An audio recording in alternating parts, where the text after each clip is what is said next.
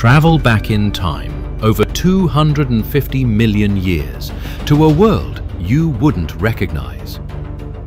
This was the Mesozoic era, an age ruled by magnificent and terrifying creatures.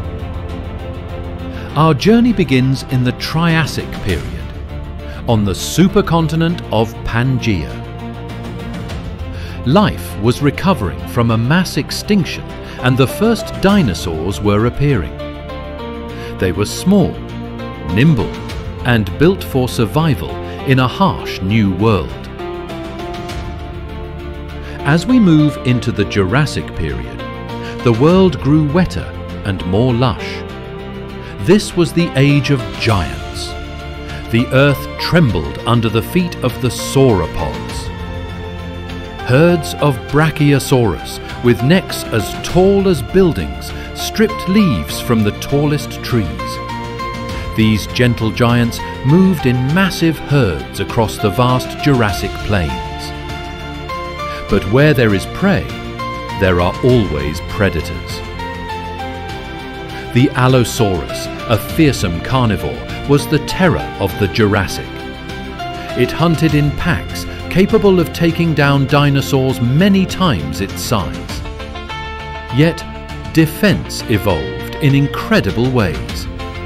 Meet the Stegosaurus. Its iconic plates likely helped regulate body temperature, and its tail was a lethal weapon. The Jurassic seas were just as dangerous, ruled by marine reptiles like the Liopleurodon now we enter the Cretaceous, the final and most famous chapter for the dinosaurs. Diversity exploded. The continents had drifted apart, creating unique new species. And here we meet the king. Tyrannosaurus rex, the tyrant lizard king, was the ultimate apex predator. With a bite force that could crush bone, few creatures dared to challenge it, but some did. The Triceratops was a formidable opponent. A walking fortress, its horns and shield were designed for defense. Armor reached its peak with the Ankylosaurus, a living tank. Its body was covered in osteoderms, and its tail ended in a massive bony club. Not all dinosaurs were giants. The Velociraptor was a small, intelligent hunter. Hunting in packs, they used their sharp claws with deadly precision. Meanwhile, the skies were dominated by the pterosaurs. These were not dinosaurs, but flying reptiles, some as large as a small aeroplane. For 150 million years, these incredible animals dominated the planet. Their reign seemed eternal, their power absolute. But it was not to last. From the depths of space, a catastrophe was approaching. An asteroid, the size of a mountain, set on a collision course with Earth. It, struck the Yucatan Peninsula with the force of billions of atomic bombs. The impact triggered global earthquakes, volcanic eruptions, and mega tsunamis. A cloud of superheated dust and ash enveloped the planet, blocking out the sun.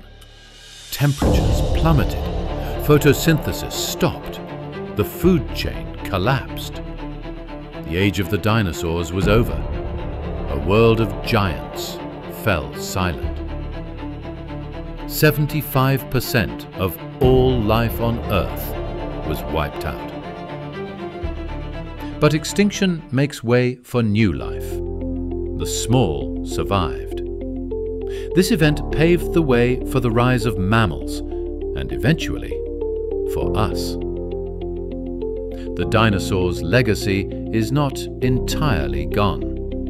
It's buried beneath our feet, and it lives on in their only surviving descendants. Every bird you see today is a living dinosaur.